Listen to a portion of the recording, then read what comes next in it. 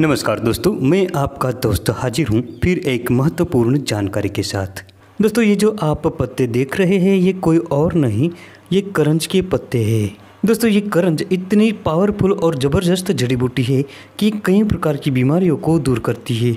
आज से लगभग हज़ारों साल पहले लिखी गई प्राचीन संहिताओं और निघंटुओं में इसी करंज का वर्णन मिलता है। लेकिन इसकी जानकारी न होने के कारण हम करंज जैसे पौधे को साधारण समझ लेते हैं। करंज कोई साधारण वृक्ष नहीं है। आयुर्वेद के प्रसिद्ध ग्रंथों में सुबह उठकर दांतों को साफ़ करने के लिए जिन जड़ी बूटियों की टहनियों का दातुन करने का उल्लेख मिलता है, इनमें करंज वृक्ष पहले नंबर पर है। करंज की टहनी का दातुन सर्वश्रेष्ठ माना गया है। ये करंज का वृक्ष आपको पूरे भारत में देखने को मिल जाएगा। इसका वृक्ष मध्यम आकार का और छायादार होता है। इस प्रकार की इसकी पत्तियाँ होती ही, आप ध्यान से पहचान लीजिए। इस वृक्ष पर सफ़ेद रंग के गुच्छों में पुष्प लगते हैं और इसके बाद फली लगती है। इसका आकार भी अर्धचंद्र के समान होता है। हिंदी भाषा में इसे करंज, करंजवा, किरमाल और पापर के नामों से जाना जाता है। संस्कृत साहित्य में इसे गुच्छ पुष्पक और नक्तमाल से पहचाना गया है। इसका अंग्रेज़ी नाम पोंगमा ऑयल ट्री और वैज्ञानिक नाम पोंगेमिया पिन्नाटा है। इसके पत्रों का आकार अंडाकार होता है तथा हरे रंग के और चमकीले होते हैं। इस पर सफ़ेद रंग के गुच्छों में पुष्प लगते हैं, तब इस वृक्ष की शोभा बढ़ जाती है। करंज का वृक्ष कई प्रकार की बीमारियों को दूर करता है। इसमें अनेक प्रकार के औषधीय गुण होते हैं। ये पित्त को बढ़ाता है और कफवात शामक होता है। पाचन क्रिया को मज़बूत बनाता है और दांतों के लिए बहुत ही लाभकारी होता है। ये त्वचा रोगों में रामबाण जड़ी बूटी की तरह काम करता है।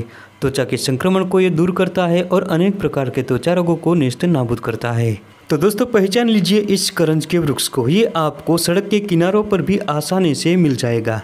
तो दोस्तों, आइए जानते हैं कि करंज का उपयोग औषध कार्य में किस प्रकार से किया जाता है। सबसे पहले जानते हैं कि आँखों के लिए करंज का उपयोग किस प्रकार से कर सकते हैं। अगर आँखों में किसी भी प्रकार की समस्या होती है, आँख लाल हो जाती है या आँखों में दर्द रहता हो तो करंज के बीजों को लाए और इसका कल्क बनाए और दूध में पकाए। दूध जब ठंडा हो जाए तब छान कर उस दूध से आँखों को अच्छी तरह धोए।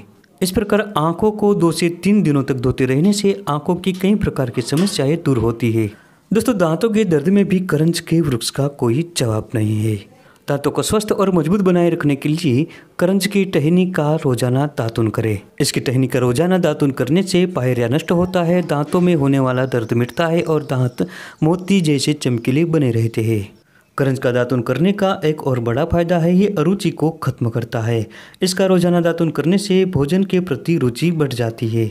दोस्तों, अगर आपको करंज का दातुन रोज़ाना न मिल सके तो करंज के पूरे पंचाग इसकी छाल, जड़, पत्तों सबको मिलाकर इसको साव में सुखाकर जलाकर राख बना ले। अब इस राख में नमक और फिटकरी मिलाकर पाउडर तैयार कर ले। इस पाउडर का रोज़ाना मंजन करने से भी दांत मज़बूत बनते हैं और दांतों का दर्द मिट जाता है। अगर दांतों में से खून आ रहा हो या पायरिया हो तो ये भी नष्ट हो जाएगा। दांतों के दर्द को दूर करने के लिए और दांतों को स्वस्थ रखने के लिए ये करंज का वृक्ष बिल्कुल मुफ़्त का और सरल इलाज है।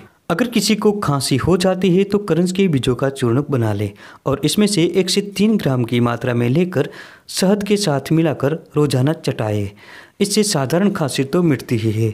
अगर कुकुर खांसी हो जाती है तो ये भी दूर हो जाएगी। दोस्तों, करंज के बीजों में से तेल निकाला जाता है। ये चर्म रोगों का खात्मा करता है। त्वचा पर अगर किसी भी प्रकार का संक्रमण हो जाता है, चाहे दाद खाज खुजली हो या फोड़े फुंसी हो इसमें करंज का तेल रोज़ाना लगाने से जल्दी ही फ़ायदा होता है और आराम हो जाता है। इसके बीजों से निकाला हुआ तेल ही कारगर होता है। दोस्तों, ये त्वचा पर होने वाले विस्फोटक रोग को भी दूर करती है। इसके लिए करंज के बीजों के साथ समान मात्रा में तिल, सरसों एरंड बीज और दूधी इन सब औषधियों को मिलाकर पेस्ट बनाएँ और इसका लेप रोज़ाना विस्फोटक पर लगाएँ। इससे जल्द ही विस्फोटक रोग नष्ट हो जाता है। तो दोस्तों, ये थी करंज वृक्ष की छोटी सी लेकिन महत्वपूर्ण जानकारी। वीडियो को लाइक करें, ज़्यादा से ज़्यादा शेयर करें और चैनल को सब्सक्राइब ज़रूर करें।